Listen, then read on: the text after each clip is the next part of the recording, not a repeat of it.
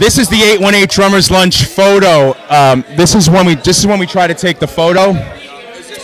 This is when you try to get 30 drummers to all drop in on the one and take a photo, all at once.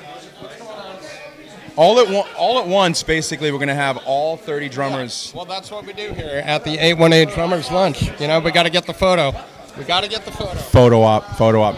Jordan Burns, Mr. Strung Out. He is one of the co-conspirators. The co-conspirator. Drummers. 818 Drummers Lunch coming at you.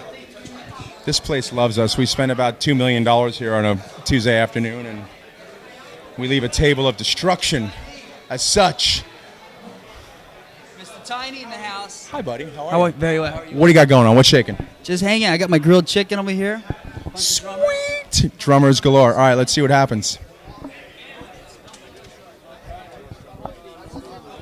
They're talking quietly. Must be important. Must be important.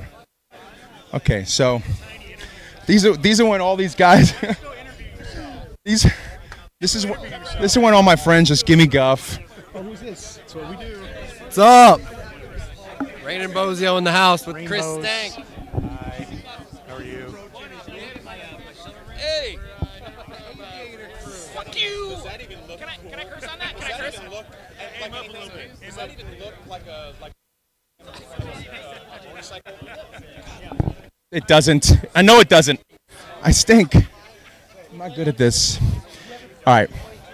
Anyway, hope you've enjoyed the story below and the videos from the 818 Drummers Lunch.